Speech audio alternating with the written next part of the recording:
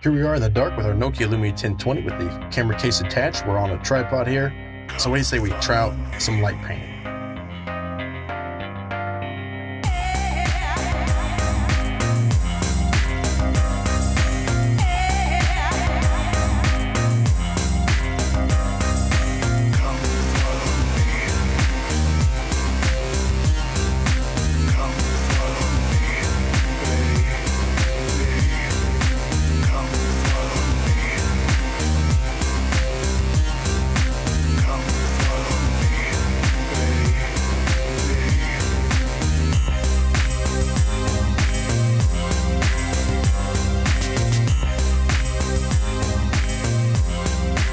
Right, so those were some pretty cool light painting shots we got, even though we had limited tools. But you don't have to have a Lumia 1020 in order to take light painting shots. Here I have a Nokia Lumia 928.